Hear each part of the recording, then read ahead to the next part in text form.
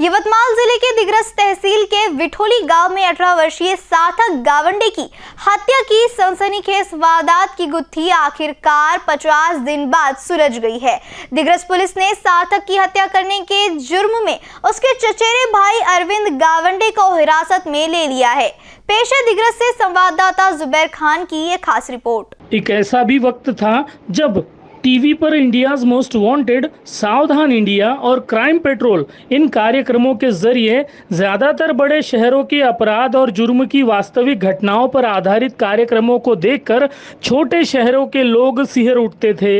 लेकिन बदलते वक्त के साथ अपराध की जड़ें मानो अब देहातों और गाँवों तक फैलती नज़र आ रही है।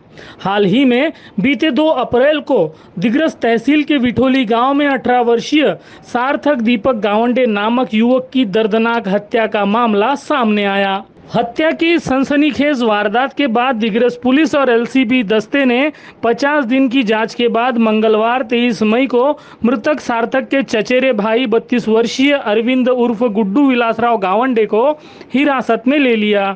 हत्या के पहले दिन से आरोपी अरविंद गावंडे पर आरोप तय करने तक का पुलिसिया जाँच का सफ़र काफ़ी पेचीदा था।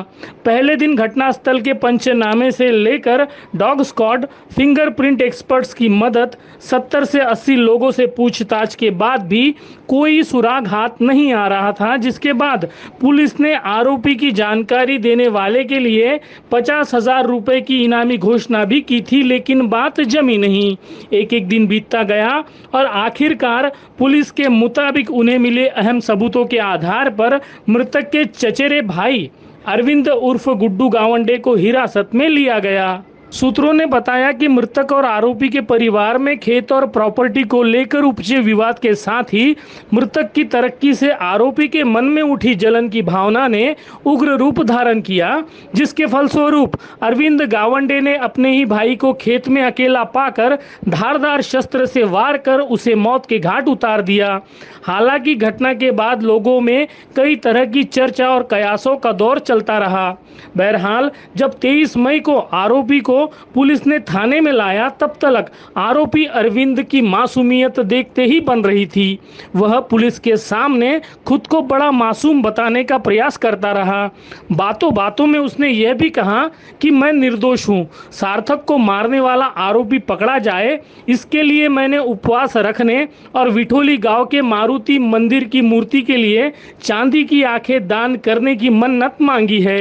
ऐसे में 23 मई मंगलवार की शाम तलक खुद आरोपी की आँखें उस वक्त चौक गई, जब उस पर धारा 302 और 201 के तहत हत्या को अंजाम देने का जुर्म तय हुआ और उसे दो दिन की पुलिस रिमांड भी मिल गई। शायद आरोपी अरविंद ये नहीं जानता था कि जब कोई आरोपी कानून के हत्ते चढ़ता है तो उसका हर ढोंग, उसकी सारी बनावटी मासूमियत धाराशाही हो जाती है और सत्य अपने आप प्रकट हो जाता है। इन न्यूज़ के लिए दिग्रस से जुबैर खान की रिपोर्ट।